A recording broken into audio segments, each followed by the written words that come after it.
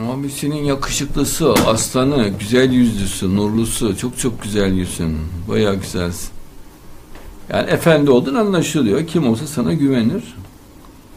Nur gibisin maşallah. Allah seni kötü insanlardan, kötülüklerden korusun. Zulümden korusun. Seni sevenlerinden güçlendirsin, teyit etsin Allah. Ee, çok imanlı olmanı sağlasın Allah. İmanını güçlendirsin. Ee, cennette de inşallah kardeş oluruz. Ee, benim güzel yüzümü bir daha dinleyeyim. İslam'ın öngördüğü bir örtünme şekli var mıdır? İlk Adem'le Havva'dan anlayabilirsin. Adem'le Havva'yı Cenab-ı Allah e, cennetten çıkarttı. Çıkarttı üstünde cennet elbiseleri vardı. Yani o metafizik elbiseler. Onun açıklaması yok. Bir de baktılar ki çırılçıplaklar. Hemen Hava annemiz ne yaptı? Ee, yani cinsi organını örtecek bir geniş yaprak örttü. Ön tarafını. Sonra da göğüslerini örtecek yapraklar aldı iki tane. Adem ne yaptı? Cinsi organını örtecek bir yapraktan örttü. Örtünmede esasın ne olduğunu Allah bize göstertiyor burada. Ana örtünme budur. Ha, bu duruma göre, örfe göre değişir.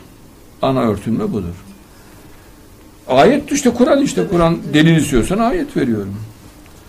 Ha dışarı çıktıklarında kadınlar eğer rahatsız edilecekse, taciz edilecekse, korkutulacaksa, fiili veya sözlü müşriklerin, münafıkların saldırısına uğrayacaksa Allah o zaman geniş bir örtünün, örtünün e, size laf etmesinler diyor Allah. Yani ama müşrik ve ahlaksız, münafık saldırısı varsa yoksa e zaten dekolte. Bak ayette kadının dekolte olduğunu Allah kabul ediyor. Zaten dekoltesiniz diyor. Kıyafetini dekolte diyor.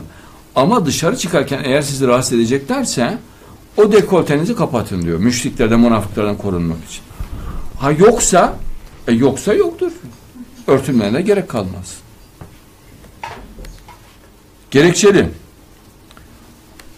Abdesti yoksa namaz da olmaz. Güneş doğduysa sen sabah namazını kılamazsın. Hep gerekçelidir. Gerekçe nedir? Güneş. Güneş doğdu mu kılabiliyor musun sabah namazını? Kılamıyorsun. Bitti. Güneşin ilk ışığını gördüğünde kılamazsın. Onun gibi gerekçelidir bu. Evet dinliyorum. Cumhurbaşkanı Erdoğan PKK'nın Irak'ta Irak'ta da